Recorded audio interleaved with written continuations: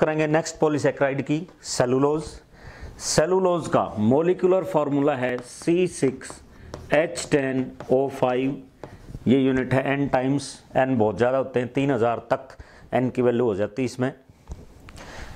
क्या होता है सेलुलोज इससे हमारा हरदम वास्ता पड़ता है.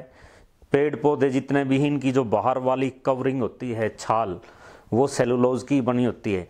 यानी कि प्लांट्स में पाया जाने वाला ये मोस्ट अबंडेंट ऑर्गेनिक कंपाउंड है जो प्लांट्स में होता है।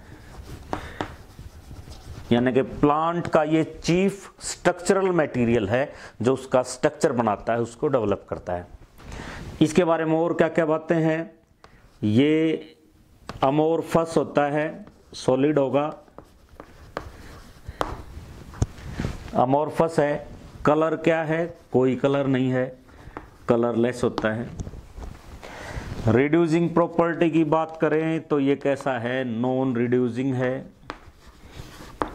यानी कि जब आप इसकी ट्राई लेंगे फेलिंग सॉल्यूशन के साथ टोलेंस रिएजेंट के साथ तो ये रिड्यूसिंग प्रॉपर्टी शो नहीं करेगा। इसके अलावा, अगर हम ह्यूमन बींग्स की बात करें, आदमियों की बात करें ह्यूमन बींग्स में तो ह्यूमन बींग्स में ये डाइजेस्ट नहीं होता है नॉट डाइजेस्टिबल अपने शरीर में जो भी डाइजेशन है, उसके लिए स्पेसिफिक एंजाइम्स होते हैं जो डाइजेशन करवाते हैं। तो सेलुलोज के डाइजेशन के लिए एंजाइम जो चाहिए, वो होता है सेलुलेज अब ये जो सेलुलेज है, ये ह्यूमन बॉडी में प्रेजेंट नहीं होता। और अगर ये प्रेजेंट नहीं है तो सेलुलोज का डाइजेशन भी नहीं होगा। लेकिन ग्रेजिंग एनिमल्स जो होते हैं, जैसे ग्रेजिंग एनिमल्स जैसे काव है बेफेलो है, या हिरण होता है डियर ये है। इन सबको ये जो एनिमल्स हैं ग्रेजिंग एनिमल्स इनको बायो में एक और नाम भी देते हैं हम रूमिनेंट्स तो रूमिनेंट्स एनिमल्स में क्या होता है? सेलुलेज प्रेजेंट होता है। इसलिए उसमें ये क्या होता है? डाइजेस्ट हो जाता है because cellulase enzyme is present यही कारण है कि गाय है, भैंस है, ये क्या करेंगी? चारा खाती हैं और इनको हजम भी होता है। खा हम भी सकते हैं, आप भी चारा खा सकते हो, नेता भी खा जाते हैं, लेकिन उसको वो हजम नहीं होगा। क्यों? क्योंकि उसमें एंजाइम कौन सा नहीं है? सेलुलेज एंजाइम नहीं है। रूमिनेंट्स में क्या होता है? कंपाउंड स्टोमक होता है। चार पार्ट्स उसके होते हैं। खैर, बायो में हम नहीं जाएँगे। आगे चलते हैं। तो ये याद रखना ह्यूमन बींग्स में ये डाइजेस्ट नहीं होगा। रूमिनेंट्स में या ग्रेजिंग एनिमल्स में क्या होता है? ये डाइजेस्ट होगा। इसके अलावा, इसका यूज़ कहाँ करते हैं? इससे रेयोन बनाया जाता है, जो फाइबर है। इसके अलावा गन कॉटन, इसको बनाने में भी इसका यूज़ करते हैं। गन कॉटन इसका ओरिजिनल नेम है, इसका केमिस, केमिकल नेम। नाइट्रो सेलुलोज है, यानी कि सेलुलोज के ऊपर नाइट्रेटिंग एजेंट्स, जैसे एच है, नाइट्रिक एसिड, या दूसरे हैं, उनकी रिएक्शन करवा के और उससे बनाते हैं गन कॉटन। ये जो गन कॉटन है, ये माइल्ड एक्सप्लोसिव होता है। यानी कि एक्सप्लोसिव होता है, लेकिन कम एक्सप्लोसिव होता है, उतना शक्तिशाली नहीं होता। इसके अलावा ये हाईली इनफ्लेमेबल भी होता है, गन कॉटन। बहुत जल्दी आग पकड़ता है, ये इनफ्लेमेबल होता है, हाईली। तो ये थी इसके बारे में कुछ जनरल सी बातें। अब जो हमसे पूछ सकता है, ज़्यादातर एग्ज़ाम में जो पूछते हैं, वो स्ट्रक्चर वगैरह पूछ लेते हैं। तो उसके लिए आपको याद रखना है कि इसका लीनियर स्ट्रक्चर होता है। लीनियर का मतलब है स्ट्रेट चेन होगी। तो इसके अगर स्ट्रक्चर की बात करें तो कैसा स्ट्रक्चर होगा इसका? लीनियर स्ट्रक्चर लीनियर स्ट्रक्चर बोले तो स्ट्रेट चेन अब सवाल ये होगा कि ये स्ट्रेट चेन किसकी होगी? यानी कि इसके अंदर जो स्मॉल यूनिट्स हैं, वो किसकी हैं? तो इसके अंदर जो यूनिट हैं, यानी कि हम कहेंगे कंपोज्ड ऑफ़ ये जो मैं कंपोज्ड ऑफ़ लिख रहा हूँ ना बार बार, आप इसका ध्यान रखें, क्योंकि सीबीएसई में 2013 में क्वेश्चन पूछा भी हुआ है। आपसे कई बार ये पूछता है कि what are the hydrolysis products of जैसे आपसे पूछ लिया, भाई सुक्रोज के हाइड्रोलिसिस प्रोडक्ट्स कौन से हैं? तो इसका यही मतलब है कि उसकी यूनिट्स कौन सी हैं? जैसे सुक्रोज की कौन सी हैं? ग्लूकोज एंड फ्रक्टोज इसी तरह अगर इसकी पूछेगा हमसे तो हम बताएँगे किससे मिलकर बना हुआ है ये? Beta D glucose it is compose of beta D glucose इसकी यूनिट्स होती हैं जो लगातार आपस में जुड़ती रहती हैं। कितनी यूनिट्स हो सकती हैं बीटा डी ग्लूकोज की? 300 से लेकर 3000 तक यूनिट्स होती हैं जो स्टेट चेन में जुड़ती चली जाएँगी, जिससे क्या बनेगा अपने पास? सेलुलोज बनेगा। लिंकेज कौन सी होगी? C1 एंड C4 लिंकेज होगी। और क्योंकि बीटा ग्लूकोज का ही नाम हमने केवल लिया है तो इसलिए C1 C4 बीटा ग्लाइकोसिडिक, ये नाम रखा ही हमने, ग्लाइकोसिडिक लिंकेज। ये इसके अंदर होगी। अब स्ट्रक्चर पे आ जाते हैं, बिल्कुल आसान सी बात होगी। अब तो बीटा डी ग्लूकोज बनाओ। ग्लूकोज कैसे बनाते हैं हम? ये लो वही पायरनोज फॉर्म तो ये एक यूनिट है ग्लूकोज की। क्या रट रखा हमने? तीसरे कार्बन पे ओ OH ऊपर होता है एच नीचे। बाकी है एच ओ एच ये है एच ओ एच ये है C H two O H और ये है एच अब ये जो एनोमरिक कार्बन है, इस पे अल्फ़ा और बीटा का फ़र्क पड़ेगा। तो बीटा अल्फ़ा में कहा होता है ओ OH उस साइड में राइट में। बीटा में कहा होगा? अल्फ़ा में होता है उस तरफ़। बीटा में कहा होगा? लेफ़्ट साइड में ओ OH और इधर वाला जो OH है वो कहाँ आता है? ऊपर। ये स्ट्रक्चर में हम पढ़ चुके हैं। तो इसका मतलब है ओ OH ऊपर और एच नीचे।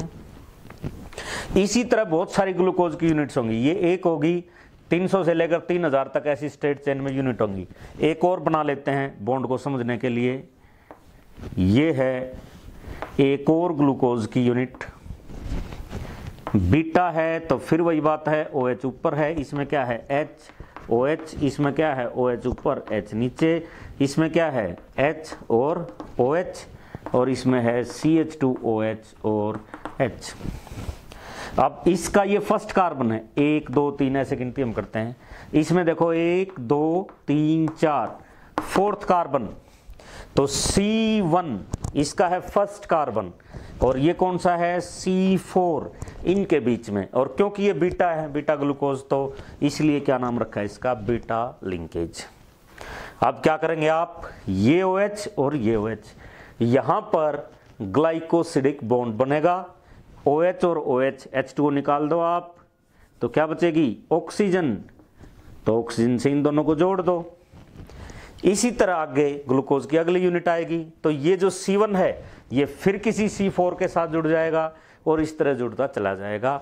ये है अपना पॉलीसेक्राइड सेलुलोज आखिरी पॉलीसेक्राइड जो अपने सिलेबस में दिया हुआ है, वह है ग्लाइकोजन इसके बारे में बहुत ज़्यादा दिया हुआ नहीं है। बहुत कम है, वही आपको याद रखना है, वही पढ़ना है। सबसे पहले इसका फॉर्मूला फॉर्मूला इसका भी वही है C six H ten O five और ये यूनिट है एन टाइम्स किस से मिलकर बनता है? ग्लूकोज से मिलकर बनता है।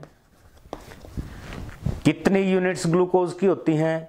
इसमें तीस हज़ार यूनिट्स तक ग्लूकोज की होती हैं। थर्टी, तीस। हज़ार यूनिट्स होती हैं ग्लूकोज की। अब इसका मेन काम क्या है? देखो, एक हमने पहले पढ़ा था स्टार्च। तो स्टार्च क्या है? ये है प्लांट्स का फ़ूड रिज़र्व। इसी तरह एनिमल्स का जो फ़ूड रिज़र्व है, जो स्टोर होता है फ़ूड, वो ग्लाइकोजन के रूप में होता है। तो हम ये कहेंगे, इसीलिए इसको एक और नाम भी दिया गया है it is also called animal starch अब होगा क्या? देखो, जो कुछ हम खाते पीते हैं लास्ट में डाइजेस्ट होके वो सब कुछ ग्लूकोज में बदलता है। आप कुछ भी खाएँ, उसको एक प्रोसेस के तहत हजम होगा डाइजेस्ट होगा और वो ग्लूकोज में बदलेगा। अब उस ग्लूकोज से हमें एनर्जी मिलती है। जो ग्लूकोज है, वो टूटता है। C six H twelve six glucose है ना ऑक्सीजन इसके ऊपर रिएक्ट करेगी। हम सांस लेते हैं, हम ऑक्सीजन गैस अंदर लेते हैं। तो ये इस पर रिएक्ट करेगी, इसको ब्रेक डाउन करेगी, जिससे six C O two H two O इसको बैलेंस करने चक्कर में नहीं पड़ते हम। और एनर्जी ये जो एनर्जी है, इसी से सेल जो कोशिका होती है अपने शरीर की, जो सेल्स हैं, वो जीवित रहती हैं, अपने काम करती हैं। तो ग्लूकोज अपने शरीर को ज़रूरत पड़ेगी कि वो स्टोर रहे ताकि अपने शरीर का काम चलता रहे। तो ये क्या होता है? जो खाना पीना हमने खाया, जितना एट ए टाइम यूज़ होना, वो तो होगा। बाकी क्या होगा? स्टोर हो जाएगा। और वो कहाँ कहाँ स्टोर होगा? वो ज़्यादातर होता है लीवर में और स्केल्टल मसल्स में। इनमें जाके स्टोर हो जाएगा ग्लूकोज। लेकिन ग्लूकोज के रूप में स्टोर नहीं होगा। किसकी फॉर्म में स्टोर होगा? ग्लाइकोजन की फॉर्म में स्टोर हो जाएगा। ग्लूकोज की बहुत सारी यूनिट मिली और कंपैक्ट बंद जाएँगी, डिब्बा बंद कर देंगे उनको। और फिर वो क्या होगा? डिब्बा बंद समझ गए होगे, क्या कह रहा हूँ कि बहुत सारी ग्लूकोज की यूनिट्स मिलेंगी, क्या बनाएँगी? ग्लाइकोजन। और उस ग्लाइकोजन के रूप में स्केल्टल मसल्स में या लीवर में, कुछ ब्रेन में, यहाँ पे जाके क्या हो जाएगा? ये स्टोर हो जाएगा। जब बॉडी को ज़रूरत पड़ेगी तो व्हेन बॉडी नीड्स ग्लूकोज जब शरीर को ज़रूरत पड़ेगी कि भाई अब तो ग्लूकोज चाहिए अब कहाँ से लें तो वो यहाँ से लिया जाएगा। अपनी बॉडी के अंदर जो एंजाइम्स हैं, वो क्या करेंगे कि भाई हमने स्टोर हाउस बनाया तो था। किसके रूप में स्टोर किया था? ग्लाइकोजन के रूप में। एंजाइम आएँगे और क्या कहेंगे कि भाई किस चीज़ के लिए स्टोर किया था ताकि काम आने पर, ज़रूरत पड़ने पर हमें मिल सके।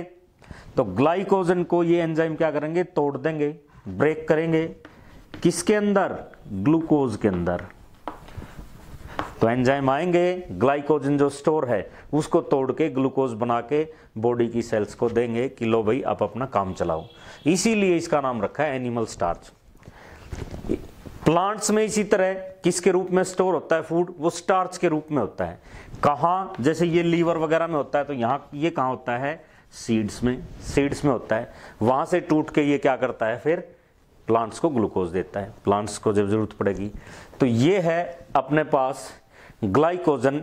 इसके अलावा एनिमल्स में, केवल ह्यूमन बींग्स की बात नहीं है, एनिमल्स में ये पाया जाता है। इसके अलावा यीस्ट में या बैक्टीरिया में भी ग्लाइकोजन पाया जाता है। यानी कि फंगस कह लो, फंजाई, इनमें भी ग्लाइकोजन स्टोर रहता है। तो ये थे अपने पॉलीसेक्राइड्स। हम कार्बोहाइड्रेट खत्म कर चुके हैं। आखिरी बातें हैं लास्ट टॉपिक में है। वो आप खुद पढ़ सकते हैं, ना ऐसी हैं। बिना पढ़े भी आप उसको कर सकते हैं। उसमें बताया कि भाई कार्बोहाइड्रेट्स की इंपॉर्टेंस क्या है। तो अब आप बहुत डिटेल से पढ़ चुके हैं, ये कोई बात नहीं रह गई है। जैसे कार्बोहाइड्रेट क्या करते हैं? स्ट्रक्चर बनाते हैं प्लांट्स का और एनिमल्स का। जैसे प्लांट्स में है तो सेलुलोज की फॉर्म में उसका स्ट्रक्चर बनाते हैं। इसके अलावा कार्बोहाइड्रेट बायोफ्यूल का काम करते हैं। ये रहा ग्लूकोज। ये फ्यूल ही है, ईंधन है अपने शरीर का। इससे हमें एनर्जी मिलती है। यानी कि रोटी, कपड़ा, मकान, फ़ूड, शेल्टर ये सब कुछ कार्बोहाइड्रेट से संभव है। इसके अलावा देखो रिज़र्व फ़ूड मटेरियल प्लांट्स में भी एनिमल्स में भी, ये भी काम करते हैं। यानी कि रिज़र्व फ़ूड मटेरियल उसका भी कार्बोहाइड्रेट हमारे लिए काम करते हैं। और बहुत ज़्यादा इंपॉर्टेंट आगे आएगा भी nucleic acids DNA and RNA इनका भी कार्बोहाइड्रेट कंपोनेंट है। इसमें डीऑक्सीराइबोज शुगर होती है इसमें क्या है? राइबोज शुगर होती है। अभी आगे उसका स्ट्रक्चर भी हम देखेंगे। फाइव कार्बन की शुगर होती है, राइबोज। उसमें से एक ऑक्सीजन निकाल लेते हैं तो क्या हो जाती है? डीऑक्सीराइबोज तो न्यूक्लिक एसिड का भी ये क्या है?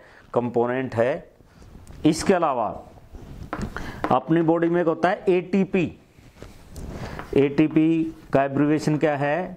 एडिनोसिन ट्राइफोस्फेट और ये जो एटीपी है ये शरीर की, इसको बोलते हैं करंसी ऑफ़ सेल। जो अपने बॉडी की सेल्स हैं, कोशिका है, उनकी करंसी है, उनके पैसे हैं, रुपए हैं। तो ये बहुत इंपॉर्टेंट चीज़ है। इस एटीपी का भी कंपोनेंट होता है कार्बोहाइड्रेट कार्बोहाइड्रेट से ये मिलकर बनता है।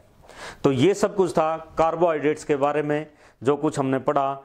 इस चैप्टर को आप अब ये माने कि 40 परसेंट के लगभग चैप्टर कंप्लीट हो गया है। और अब जो बचा हुआ है, वो मुश्किल नहीं है, बहुत आसान सा आगे बचा हुआ है।